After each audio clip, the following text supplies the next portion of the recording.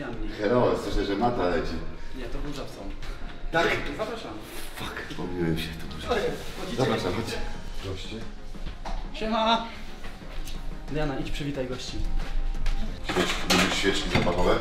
Tak. Ogólnie lubię zapach. Perfumy, cokolwiek. Lubię zapach, ładny zapach lubię. Musi pachnieć zawsze. Jakby moją ulubioną częścią dnia jest moment, w którym psikam się perfumami Mhm. i je czuję. Kurczę, to mam nadzieję, że nie życzę Ci, żebyś miał covid A miałem, ale to w Ale nie straciłeś ręku. Straciłem. A wrócił, to tragedia dla Ciebie była, nie. Nie, wiesz co, ale zabawne było, bo dowiedziałem się, że mam, bo generalnie byłem strasznie przemęczony, bolało mi wszystko, Si. gorączki nie miałem i jakby ja jem wszystko z ketchupem, jestem ketchupoholikiem. Taka Tak. butelka kilogramowego ketchupu starcza mi, nie, nie wiem, na 5 dni.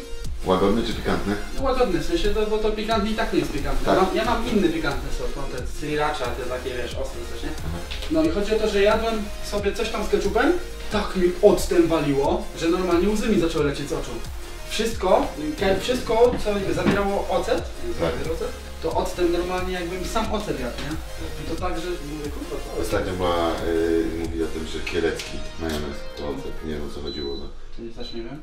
Ty, zapomniałem, jajka się myje? Chuju myje. Możesz umyć to. Nie gotowałem. jeszcze. Ja generalnie A jestem... Ty jesteś z tych, którzy... Zawodokucharzem jestem. To poczekaj, no, Ukończone. no ale właśnie ja mam pytanie, będziesz wbijał to do talerza, czy od razu na patelnię? Nie no, do talerza, bo wiesz co robię? Patrz, patrz, patrz, umiem to jeszcze? A kurwa, dużo tych się nasypało, nie wyszło. Będę robił te, tosty francuskie. Ja to nazywam omlety. okej, dlatego musisz roz... Tak. je. Ja to nazywam omlety, ale nie takie omlet, taki pampuch, pancake, nie? Tak. Tylko takie chleby, nie? Bo obecnie jestem na okresie już zbijania wagi. Wiem, że to śmiesznie brzmi patrząc na mnie. Jak może zbijać wagę? Przecież on waży z 5 kg. Ale ważę nie, ważę z 84 kg. Ty to ważysz dokładnie tyle, dokładnie tyle samo, Co co do samego kilograma, co twój przeciwnik. 84? Tak. No, tylko po nim widać. Adrian waży to tak. On jest taki, nie? Tak. A ja nie, ja nie jestem taki. Jako, że jest już taki okres końcowa, no to wiadomo, żadnych ostrych sosów, żadnych ostrych przypraw, przypraw, nic ostrego w sumie. Papryka słodka, tylko sól pieprz. Mhm. Żeby wiesz, nie zajechać ani nie mieć żadnych rewolucji, nawet żeby nie dopuścić do czegoś takiego. W sumie to w kółko będę jadł jedno, tylko będę zmniejszał dawki jedzenia. Mój dzień wygląda tak, że na śniadanie jem cztery takie chleby, takie tosty, cztery, właśnie z takim jajkiem, jakiś tam pomidor na to. Na drugie mam wafle ryżowe z masłem orzechowym. Na obiad mam mięso z indyka, makaron e, wieloziarnisty, pełnoziarnisty, nie wiem, nie odróżniam. I też jakieś warzywa i, i pasata. I na kolację mam szejka tam z bananów, truskawek, białka i czekolady gorzkiej z litr picia prawie, nie? Ale już ty sam na podstawie doświadczenia sobie to układasz, czy No masz, tak. współpracujesz? z- Y, No w sensie y, z Marcinem ogarnąłem. No Marcin tam ten robił zawsze wagę i tak mi to ogarnął, nie? Nie Marcin mi to ogarnął, w sensie nie Marcin mi to rozpisywał, ale tylko Marcin mi to jakby załatwił. Ja jestem strasznie wybredny względem jedzenia, dużo rzeczy mi nie smakuje, no takie mam francuskie. Nie żartuję, jak jest, trzeba zjeść to zjem, ale jeżeli mam wybór, to wolę jeść właśnie w taki spoko sposób niż jakieś rzeczy około cateringowe, które nieraz są w restauracji takich wynalazków nie dostaniesz jak ten, nie? Ale to jaką ty, ty się kończyłeś? Zawodów, zawodówkę kucharz. Mhm. Jakby wiesz, faza szkoły to było wtedy, wszyscy robili schabowe, a ja odpierdalałem jakieś przepisy Ogińskiego z YouTube'a. Też taki jest YouTuber. A powiedz mi, y, pracowałeś w zawodzie? Nie, No bo- nie, nie. No, teraz mam dylemat, bo Co powiedz co, wlejesz to na... chyba tak, leję to po prostu na patelnię. Bo wcześniej miałem taki gigantyczny chleb, naprawdę takie te kromki były. I on to wypijał wszystko. Tak, i on to wszystko wypijał, a wczoraj po treningu, no to już było późno, 22, to żabki tylko było otwarte, a w żabce taki mały chleb się dostanie, nie? I są takie osoby też, które na przykład jak gotują, no, od razu muszą mieć posprzątanie, nie. Ja tak robię. Ja Na wiem. bieżąco, że na Tak. przykład odkład... Nie, to moja narzeczona tak robi, raczej Tak. żadnych nie miałem. Porządek. Mnie to strasznie denerwuje, jak ja na przykład sobie gotuję, No. wolałbym zrobić, ona a ona mi tak chce. I odkłada. Ja to wiesz, z patelnią ona... A ty, co robisz? Potrzebowałem tej soi. Nie, no chowa po prostu, wiesz, Tak. ja, ja, ja robię tak, ja ugotuję, yy, zjem i sprzątam. Jak powiedziałem, że jem to z warzywami, to znaczy, że biorę po jednym kawałku na plasterku na ten. O, to jest, proszę, śniadanie mistrza. Jest bardzo poczciwy. Tak, to jest Dinson. Jak na imię? Diana. Jak? Z walki z golą, rękawice z walki z olejnikiem. Jeszcze mam rękawice debiutanckie z walki z Polakiem. Ciekawostka, e, łącznie z Marcinem trzy razy zostawiliśmy lub skradziono nam rękawice tuż po walce. A jeszcze jakieś atrakcje mamy? Tak Pójdziemy przez Nadodrze, No. popytamy, czy heroinę mają sprzedać. Nie, żartuję, bo tak, y, taka jest opinia. Jak? Taka jest opinia, że tak robicie? Nie, taka jest, op- nie, no ja tak robię generalnie, ale Aha. y, opinia jest y, dzielnicy tutaj takiej moja. Naprawdę? No. To w samym centrum, tak? Nie, no to jest śródmieście Aubin na Dodrze. To jest taka, całe życie tu mieszkam i to jest najlepsze, najlepsze dzielnice pod słońcem dla mnie. Typowo dresiarskie, o. Bo te, te 90% scen z tych typowych dresów to nie są z głowy. Życie pisze najlepsze scenariusze i tak też było tutaj. To połowa tych, większość tych scen, mówię, 90% to są prawdziwe sytuacje, troszeczkę podkręcone, jak w stand-upach. Już się, już się nie mogę doczekać, jak się brat zrewanżuje za historię, e, którą ty opowiedziałeś nam w materiale. A pamiętasz ten? Nie, bo wtedy miał ten rest day. Tak. Tak. To nie był rest day, to kontuzja tam była. W parterze on się kładł na plecy, nie? Bo ta kostka była rozjebana, bo Marcin był oddawać krew. Nie wiem, czy on to opowiadał. Chyba to opowiadał. Nie, nie, nie. No, mi wydaje mi się, że na filmie był oddawać krew na czczo i badaj, pobierają mu tą krew, nie? I teraz ja mówię, jak on mi opowiada. I on nagle tak o, to, to ja, się ja się w niego wcielę. No i pobiera mi krew, ta pani pobiera mi krew. Nagle śpię, mam sen, normalnie mam jakiś tam sen. No i dalej jestem w tym śnie i dwie pani już nade mną stoją, a ja leżę i mnie tak ten szarpią, szarpią, a ja się chcę obudzić, nie? No i się budzi nagle, w sensie to jest prawda, nie? I, i, i stracił przytomność na tym i miał, jak se siedział, to miał o, tak o nogi, tak jak ja teraz. Tak se trzymał nogi. W taki sposób, stopy w sensie, tak w, w środku, pod ukosem. Jak on stracił przytomność, to go tak wyrwało, że ta noga chyba mu została, ta kostka. I zerwał całą torebkę stawową w kostce, będąc nieprzytomnym. No i potem no dwa tygodnie takie mieliśmy ciężkie, nie? Dwa, trzy. Potem już no nie, i tak to było, to było bardzo późno. To wszystko. I generalnie miał taką reakcję organizmu na tą zerwaną torebkę, że przez dwa dni miał chyba po 39,5 gorączki. Rozjebało go totalnie, nie? Tak organizm zareagował na tą tutaj... ze- Bo, bo cały organizm poszedł tu walczyć, nie? Tak. I, I nie wiem na jakiej zasadzie to działa, no ale tak miał, nie? Mm, Z Marcinem to jest tak, że jak y, on całe życie trenował, znaczy w sensie koszykówkę, tam 8 lat, potem te brazylijskie jiu-jitsu, ale on no stójki nigdy nie robił, a y, no brazylijskie jiu-jitsu to jest takie, no nie jest to sport uderzany, jest to taki sport parterowy mega. No i to umiał, te, umiał się kulać, nie? W, w, w kimonach. To też jest y, ciężej, jakby robił, jakby robił bez kimon, to miałby lepsze przełożenie na potem walkę MMA, ale on robił szty tylko w kimonach. Z tego co wiem, to bardzo mało robił no, bez, bez kimon. No i jak pojawiła się oferta mojej walki z Adrianem, ta pierwsza, pierwsza, ta debiutancka na Fame dwójce, no to Marcin też się z nami trenował, ale no zawsze przy Marcinie to było tak akurat, że od zawsze było stawiane na ten parter i też jak ja miałem, bo ja miałem, to będzie moja szósta walka, to Marcina była druga, więc chodzi mi o to, że ja się przygotowywałem dużo cięż, dużo, dużo mocniej i dużo częściej niż on, nie? No bo ja miałem tych walk dużo więcej, tak naprawdę można walkę z Kubańczykiem wykluczyć, no to Marcin miał tylko jedną walkę przed walką z Kubańczykiem, a ja miałem już pięć. Dlatego u mnie jest to na tej zasadzie, że stójkę mam fajną, zapasy mam ok i parter też mam fajny. Z tego względu, że miałem więcej czasu i więcej jakby tych walk i więc więcej czasu na przygotowywanie się i po prostu więcej opcji na przygotowywanie się, bo wiadomo, że jak nie ma walki, no to się nie przygotowujemy. No i zmierzam do tego, że ten, z tym Marcinem jest akurat tak, że on zawsze miał ten parter, mniej się też przygotowywał. Na walkę z Adbasterem, no to jak, jako takie tam przygotowania były. A tutaj chodzi o to, że, że tak jakby Marcin wcześniej, no mówię, no ja dużo więcej się przygotowałem razy niż on, dlatego u mnie, ja nie muszę robić tak, że stawiam wszystko na jedną kartę, tylko mogę sobie trenować MMA, tak ogólnie. A Marcin musiał tutaj akurat postawić na jedną kartę, no bo wyszła ta różnica. To, że Kubańczyk sobie dużo lat trenował stójkę, wiadomo, walka zaczyna się od stójki. No Marcin trenował tylko w tych kimonach TBJ, więc to mu za dużo nie da w momencie, kiedy jest walka MMA i tu trzeba dobrze obalić byka. Trzeba też nie zostać w ryj, przysłowiowo. Dlatego no mieliśmy co, dowiedział się o walce chyba było 4 miesiące albo 3. No to co, no to trzeba stawiać na jedną kartę, no bo tak, w stójce go nie dogoni, nie ma takiej opcji, no bo no jak to, Kubańczyk kilka lat tą stójkę chyba trenuje. No BJJ spoko, jak spadną to może coś Marcin wykręci, a może nie, no bo to walki MMA no, też na tym poziomie wyglądają w ten sposób, że ciężko jest kogoś poddać, no bo to dwóch wielkich chłopów się będzie siłować, jeden drugiego ściśnie i tak sobie przetrzyma rundę na przykład, nie? No widzieliśmy e, na przykładzie walki Araba z Tyburskim, gdzie Arab go obalał, wszystko wyglądało super, naprawdę, no nie miał problemu z obaleniem, tak mi się wydaje. E, A tam miał już prawie, że ten trójkąt rękoma zamknięty złapany, no ale jednak tego nie wyciągnął. I też przez kolejne kilka minut no nie, no nie poddał jednak Tyburskiego, czyli jednak jeżeli jest duża różnica poziomów par- umiejętności parterowych, bo tak mi się wydaje, że Arab jest w parterze, był w parterze e, wtedy dużo, dużo lepszy niż, niż Tybori, a jednak go nie poddał. Czyli ta siła tego chłopa jest taka, że w sensie ciężko jest kogoś poddać, no na to wychodzi.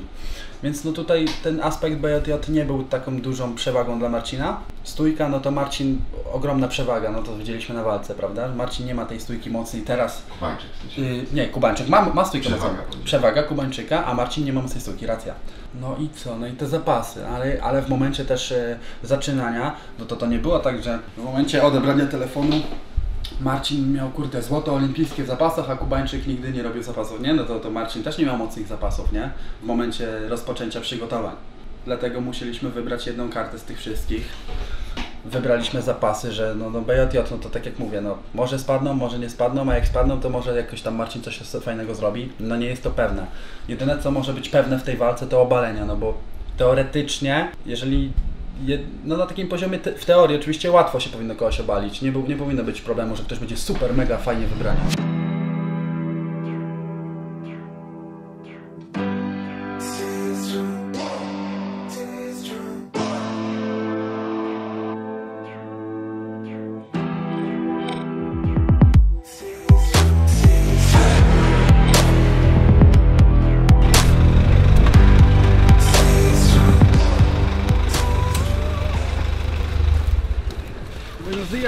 Sierra. Zobacz jak się kupić. Warzywka po Odbijam się w pomarańczy? No.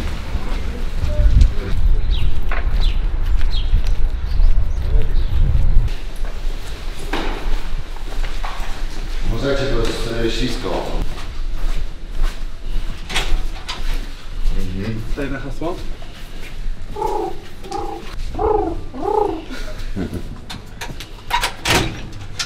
Witam.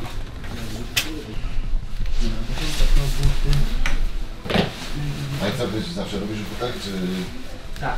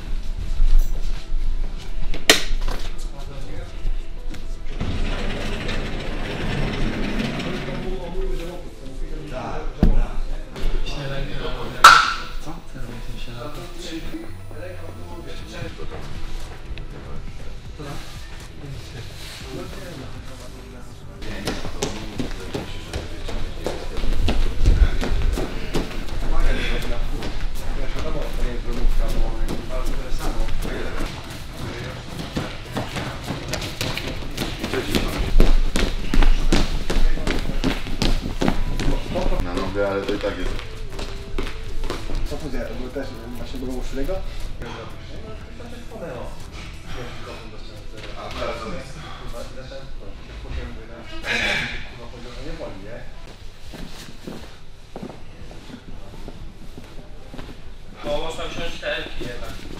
Za- za- za- Maciej jest specyficznie cichy. Introwertyk Max. Maciej.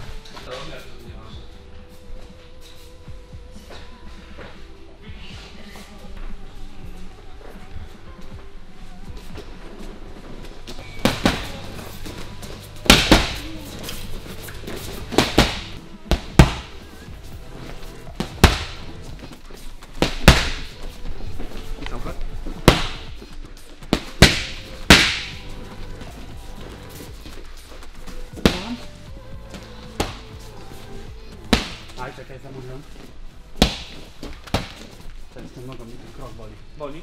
Jak robię to, nie? Prawy, le- poczekaj, prawy, lewy, le, prawy się. Wejdź mocno do przodu. A, i wtedy możesz naskoczyć prawym tym capem. Co? Prawym crossem. Raz, dwa. u. Dobra, a dawaj. Tylko tu musisz wejść mocno tym prawym lewy, nie? Czyli... O, czekaj, Co robimy? Od razu hak, no. Dawaj mocno tym raz, dwa. Bądź blisko.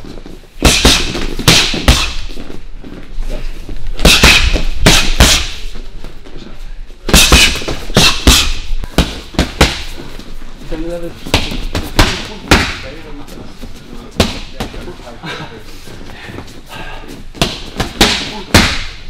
Raz, dwa. Prawy, prawy i mocny. Czyli do przodu? Tak, do przodu. No. Tak, tu sobie wchodzisz. Ogarniasz, trzymasz. Tu, tam i tu. Na, tu, tu, tu, bliżej. Kurwa.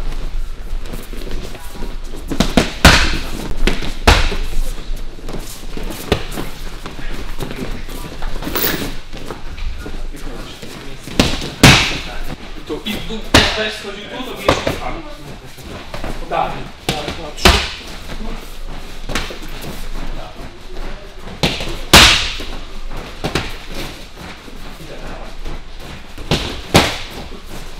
Jeszcze raz.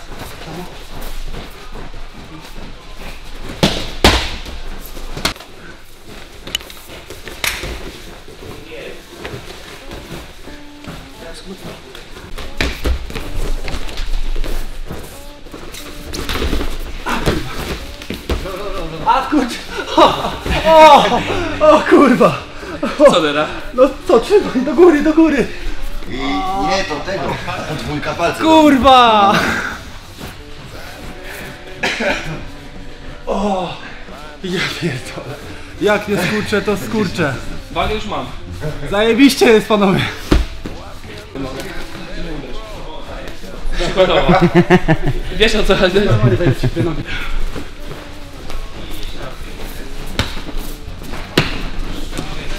A kurwa! Co? Pa co głęboko zasadziłem. Ale w chuj, w chuj głęboko zasadziłem, nie? Z pół palca. To nawet nieprzyjemne.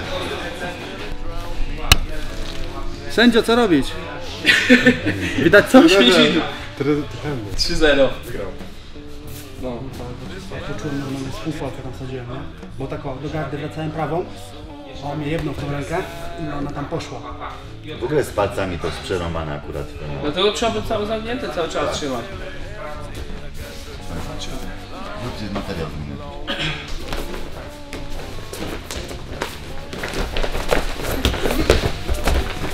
A jednak ktoś mi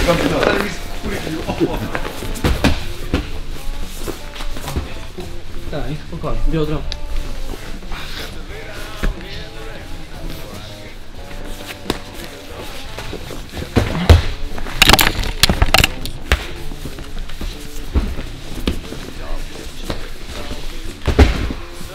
Mi stajdzie.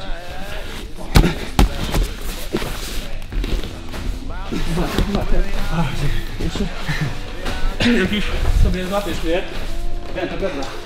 Tak, musisz pomału pracować, czyli udusisz go sam, na spokojnie. Czyli bij, bij, rozciągaj, jak dasz je, wpinaj dopiero. Stary, cię pierdolą, to tyle odjaj stary z tej kurwy teraz. Czy jednak wykombinowałeś? Razem brata chciałeś. Dostałem Ty tyle, dostałeś? tyle odjaj piętą, o, od niego. Teraz, no. Z kamerą wśród zwierząt. Ale zostaje w rodzinie, więc tak czy dla Malczyńskich. Teraz pod tą drugą akcję, nie? Dawaj. Teraz ja cię obalę. Pomału będziesz pracował, wychwyć mi rękę, wyglądaj do boku. Mnie. Pobalasz mnie do gardy, tak? A ja, ja ci wejdę nogi. No tak, tak nic nie zrobię, jak będziesz chciał.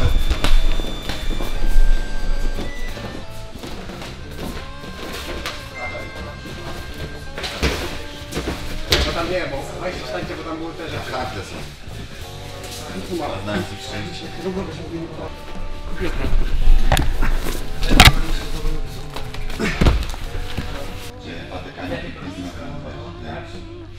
A, że za szerokie plecy ma. Ale nie.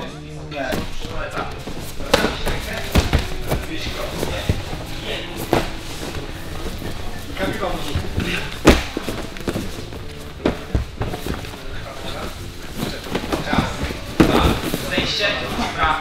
Jeszcze ciągniesz coś dalej, to Raz, dwa, trzy. No, dawaj, dawaj. Dawaj. Bo Marcin się stresuje.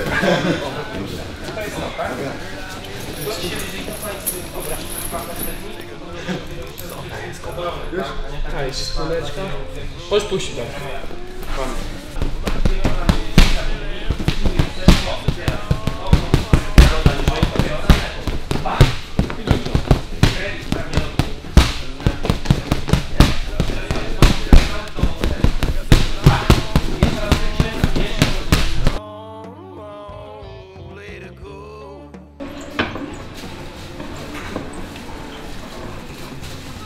Dawid, Siema.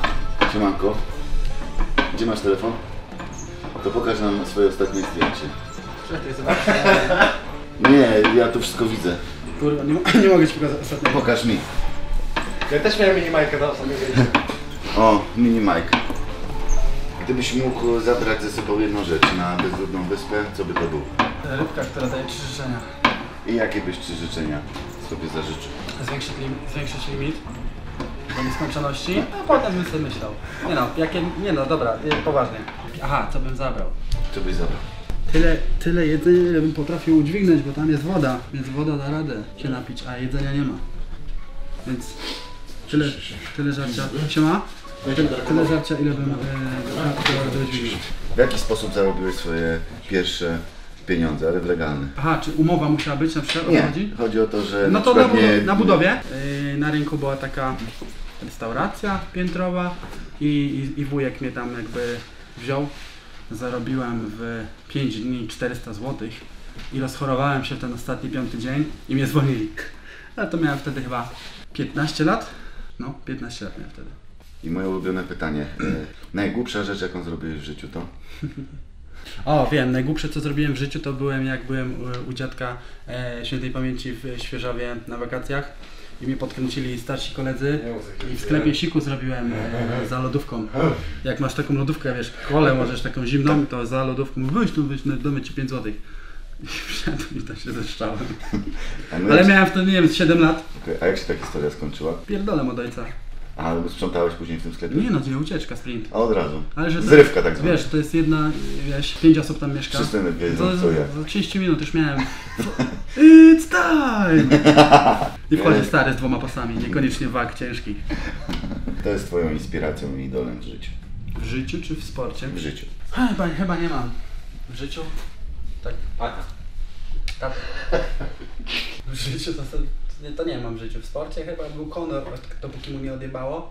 W sumie tak połączenie Conora i Habiba. Tak. No ale wiesz, ja od Conora znam, to on zawsze był pojechany. Tak, ale potem już wiesz, To już teraz jak z O, Dustinem o, walczył. o, o, nie, ja mówię o Konorze.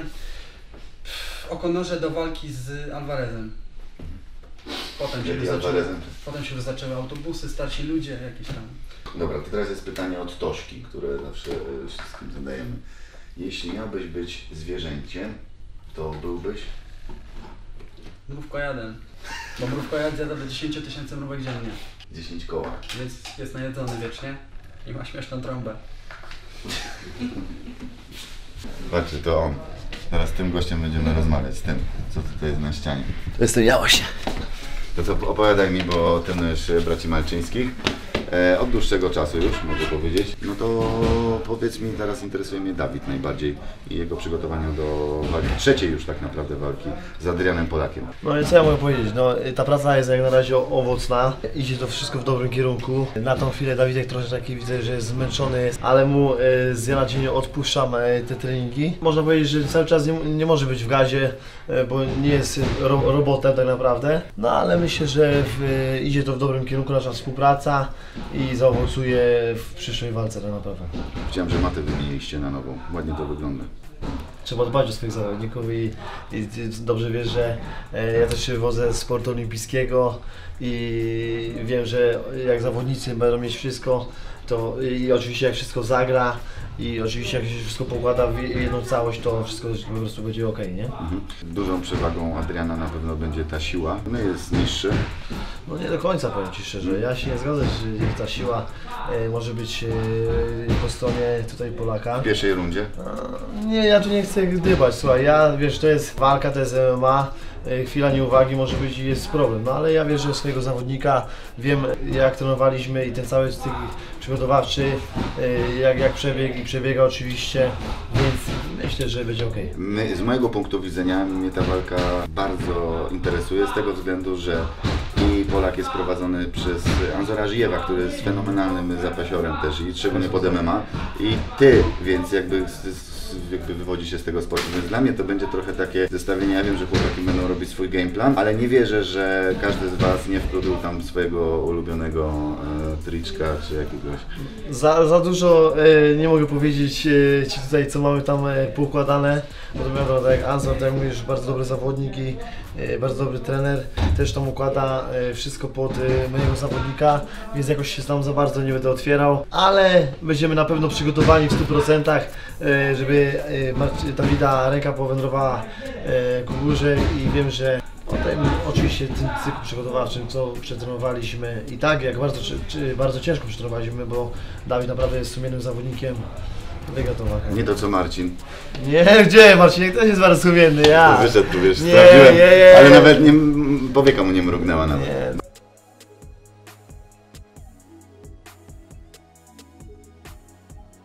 Marcin, zdradź nam sekret o Dawidzie, e, o, o którym nikt nie wie, albo mało osób. No to Dawid generalnie mało osób wie o tym, że było z początku bardzo dobrym biznesmenem, bo tak jeszcze kilka, kilka lat temu, z 10 albo i więcej, to jak miałem dziewczynę i po szkole chciałem zostać sam w domu, to Dawid, wiadomo, nie chciał wychodzić, nie? E, I powiedział, że będzie wychodził, ale no musi mu się jakoś opłacić. I za każdym razem, żeby wyszedł, musiałem mu zapłacić. Najpierw to były, wiesz, małe sumy, 5 zł, wiesz, 2 zł, 5 zł, bo był młody, potem jakieś tam jeszcze dyszkę. A jak wiesz, jak nie miałeś, to nie chciał wychodzić.